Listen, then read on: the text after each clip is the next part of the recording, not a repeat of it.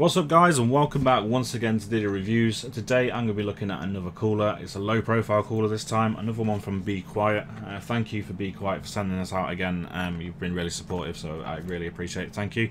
Today we're looking at the Pure Rock LP. This is a brand new cooler for small form factor builds. So let's get it unboxed, have a look and then we'll put it in the test system. So this is the Pure Rock LP. This is a low profile cooler as the name suggests uh, from Be Quiet. Um, I'm expecting big things from this because it's Be Quiet and their products are generally absolutely fantastic. Um, but we'll have a look. Um, first of all, it's 100 watt TDP, so it is meant for small form factor, low power CPUs. And today it will be used on a 5600G um, to test. Let's have a quick look at the specifications and then we'll get it unboxed and have a look further into the uh, performance. So it comes with a 92mm fan on top, which is a 92 by 15 thick, so it's a low profile fan as well. And the dimensions are 92 by 92 by 45 for the entire cooler. Um, so it's really, really small. Um, so, so should fit the smallest builds, which is going to be in a InWin Chopin Pro today, um, which is really, really small. Um, so you'll be able to see that. Um, it's aluminium, and the support for the sort of CPU fitting is Intel 1700, 1200, 1150, 1151, 1155, and also AM4 and AM5 for AMD. Um, so it will support the latest uh, sockets. Um, whether it will be good enough to cool uh, a new AM5 CPU, I'm not sure, but obviously I don't have the uh, capability to test that at the moment. Uh, and then the rated sort of uh, noise level is 13 at 50%. 23 decibels at 75% and 30 at 100%. Um, so I'll do a little test on that as well. And the fan spins up to 2500 RPM and should last for around 80,000 hours apparently. Um, so let's get it unboxed and have a look. So this is the cooler itself and it looks so cute. it looks really really nice. I like this. Um, yeah, I'm a big fan of this. Um, completely black um, as is a lot of uh, Be Quiet stuff and wow it looks absolutely brilliant. I really really like that. That looks lovely. Um, yeah. There's not a lot more to show you about it. Obviously it's quite a, a dense thin, uh, thin sort of stack on there. Nice little fan on there um, with their sort of standard uh, fan blades with the sort of ridges in them um, to try and keep it quiet I believe to stop the turbulent airflow. Be quiet branding on the sides um, and the fan is actually screwed onto it. Um, so none of those stupid clips which I really like to see. Uh, I, hate, I hate those clips.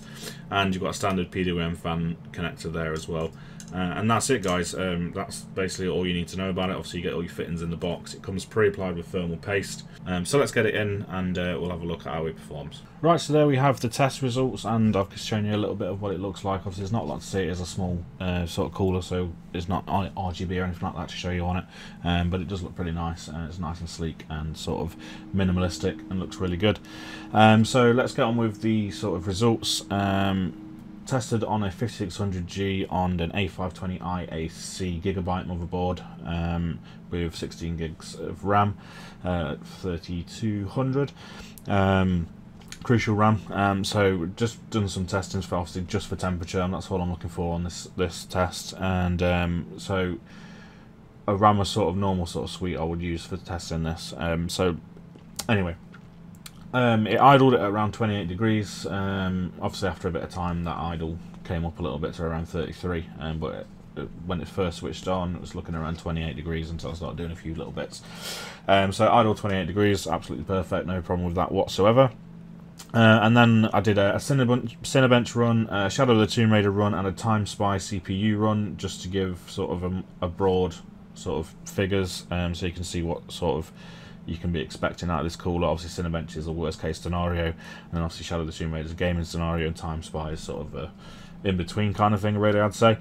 Um, so, Cinebench, multi core, 5 minutes, um, stock settings on the 5600G, and we've got a maximum of 80 and an average of 73, which is brilliant to be fair. It's for such a small little cooler. I didn't expect it to be sort of like 60s or anything like that. Um, so 80 is absolutely fine. You, you're miles off sort of your maximum that you want to be getting to. So um, yeah not a bad result at all. And again that is the worst case scenario you're going to get. Um, so it's not really going to get to that during sort of normal use. Um, Shadow the Tomb Raider ran at 720p low settings because obviously it's a 5600G. It can't really do a lot more than that. Um, on Shadow the Tomb is difficult to run.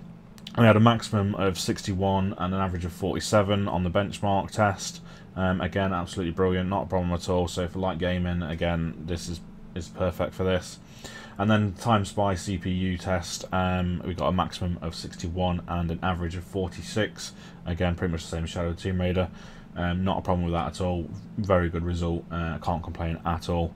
Um, I also did decibel tests, as I said I would do in the start. Um, people have asked for this uh, in other videos, so I, uh, start, I'm going to start doing this through through most callers now. Um, as the with this build, this is the only fan in the case, so you're getting a true representation of the sort of noise levels uh, of this, which is quite good as well. So, um, yeah, so 100%. So fan max chat 20, I think it ran about 2400. Um, so it was going max chat, uh, 29 decibels so and it's quite a quite a subtle sound as well. Um, 75% 26 decibels and 50% only 21 decibels. So in terms of quiet, it's absolutely brilliant. It's Be Quiet. Um, what what more can you expect really? To be honest with you, from Be Quiet, the their, their stuff's just absolutely brilliant. And again, thank you to them for sending this out for review. Um, yeah, I'm absolutely yeah absolutely made up with this cooler. It's absolutely brilliant. It's absolutely perfect as well for this build, this InWin Chopin build. It's tiny. Um, I used to have the Thermalright X47 full copper in there, and that was pushing right up against the the mesh panel. Whereas this, we've got a little bit of clearance in there for this one, so it's perfect for this. If you're looking at this sort of build, small, tiny HTPC build, this is definitely the one for you um, make sure you check it out. Uh, I can definitely recommend it for a small form factor build. Don't be putting it on sort of 5900Xs, 7900Xs and stuff like that. I wouldn't recommend it. Um, although you'd probably be able to run it, your boost clocks would be way down um, because it's not rated for that. It is only rated for 100 watt TDP, and your 7900Xs and stuff are like 175, I believe. So they're way above what this is rated for. So, like I say, your your clocks are going to come way down to, to compensate for that for the cooling. So you're not going to get it on something like that or a, a 3900K or anything like that. It's not a good idea for those. It is for small form factor builds. So if you are looking for a cooler for a small form factor build, like I say, an APU build, um, I'd say is the best case scenario for this. Um, then yeah, definitely go and check this out. I'll put links in the description below for you to see uh, more details on it, and hopefully I'll put some places in where you can buy it. At the time of recording, this isn't out, um, so this will be going live after it's been released. Um, so at the time of recording, you probably won't be able to buy it anywhere. Um, so I'll try and remember to update the uh, description with a link of where you can actually buy it as well. Um, so yeah, looking for a small form factor uh, CPU cooler. Um, you want something really, really small to fit in the tiniest of cases then go for this only 45 mil high with the fan included so it's absolutely tiny. Um, it's absolutely brilliant as well. Can't can't fault it enough. So that's it guys. Thanks for watching. I uh, hope you enjoyed this video. Please don't forget to subscribe like dislike and comment depending on how you feel about this video. And hopefully I'll see you in the next video. Thank you for watching and goodbye